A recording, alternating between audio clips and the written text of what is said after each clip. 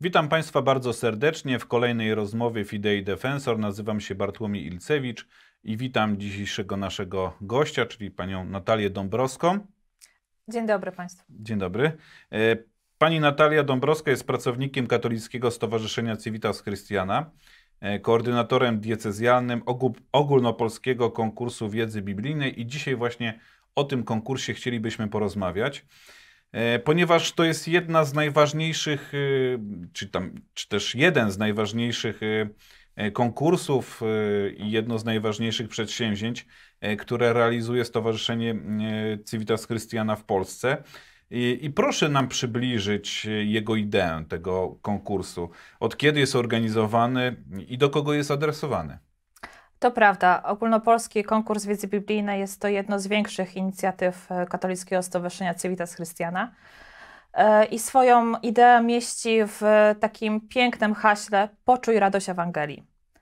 Czyli zachęcenie wszystkich e, młodych katechetów, nauczycieli do pogłębienia wiary poprzez czytanie Pisma Świętego.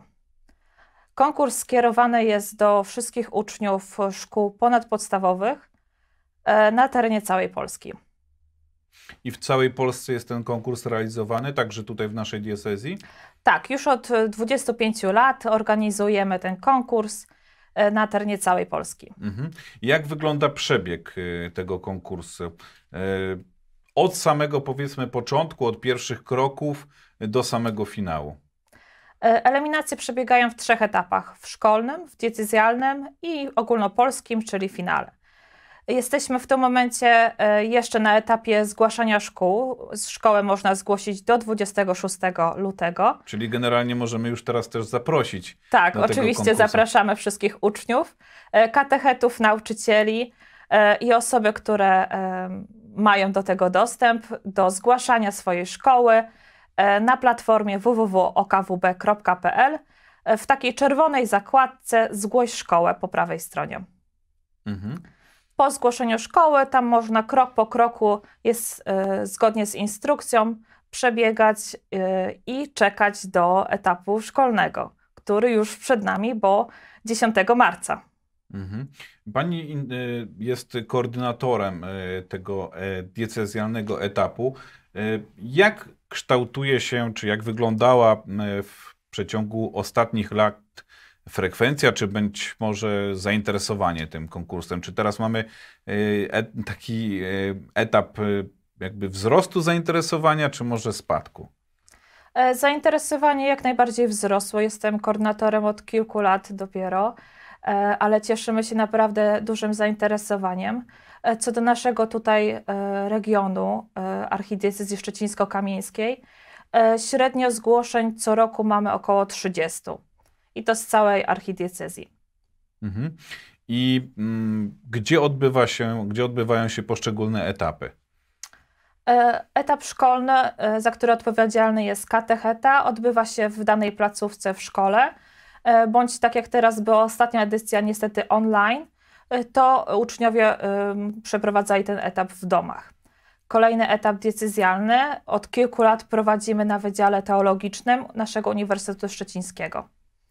E, a finał, e, zawsze dwudniowy i w tym roku także, e, odbywa się w pięknym, malowniczym miejscu, jakim jest Niepokolanów. Mhm. Widzimy tutaj też zdjęcia z Niepokolanowa. Przewijają się w naszym dzisiejszej, naszej dzisiejszej rozmowie.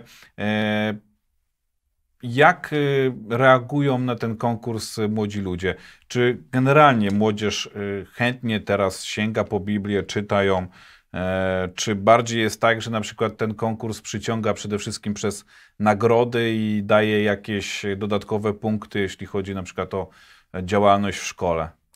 E, ten konkurs, który organizujemy, nie jest zwykłym konkursem. Dotyczy on przede wszystkim Słowa Bożego, które chcemy zaszczepić lub pogłębić w młodych e, osobach.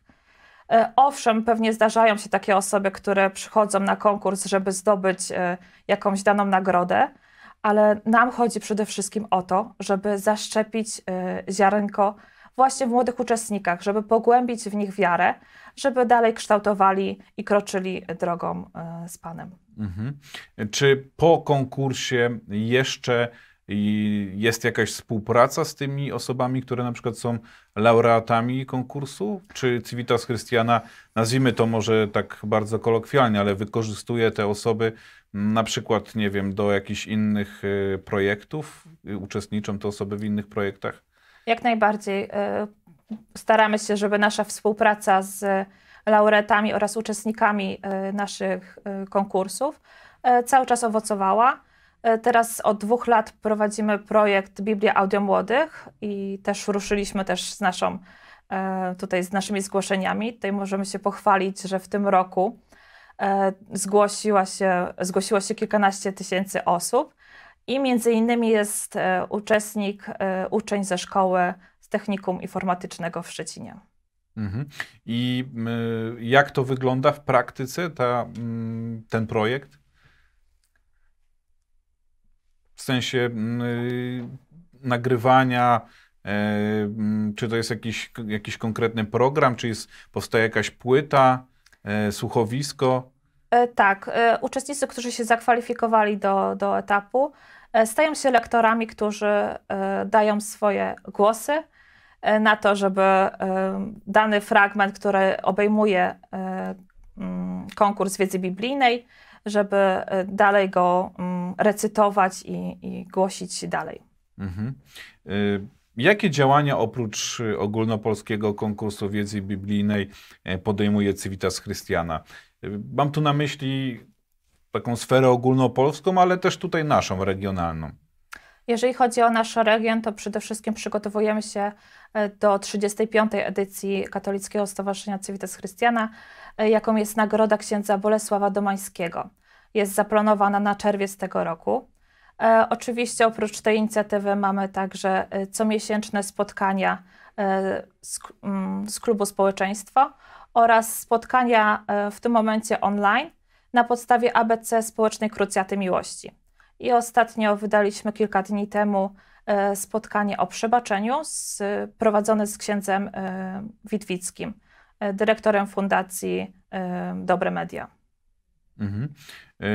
Czy mm, stowarzyszenie zajmuje się e, tylko powiedzmy taką sferą, nazwijmy to e, konkursową, e, czy, czy powiedzmy podobnych działań, działań, o których Pani powiedziała przed chwilą, czy też ma jakąś też, zajmuje się też formacją?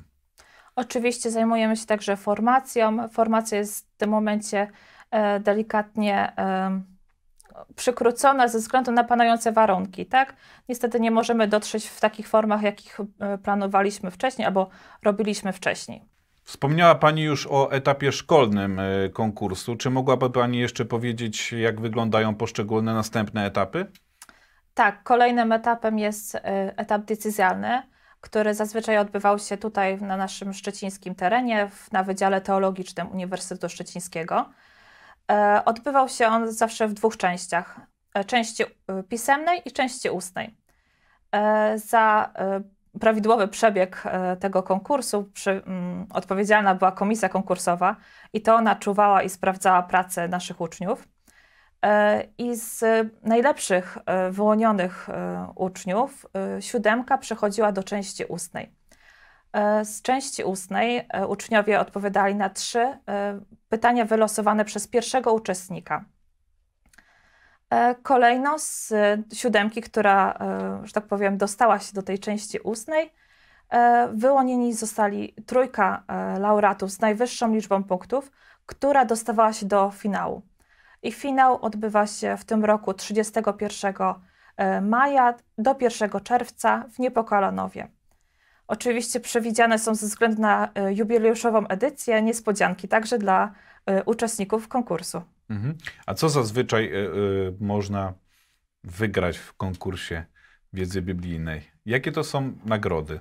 Oprócz pielgrzymek w różne miejsca, jak na przykład do Ziemi Świętej, do Jerozolimy lub w inne miejsca, są też to nagrody rzeczowe.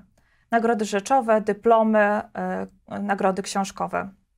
Mhm nic tylko zachęcić do tego, żeby w tym konkursie wziąć udział, więc jeszcze raz tutaj ponawiamy nasze zaproszenie do tego, żeby w tym konkursie uczestniczyć. Proszę jeszcze raz przypomnieć, gdzie można znaleźć informacje o konkursie.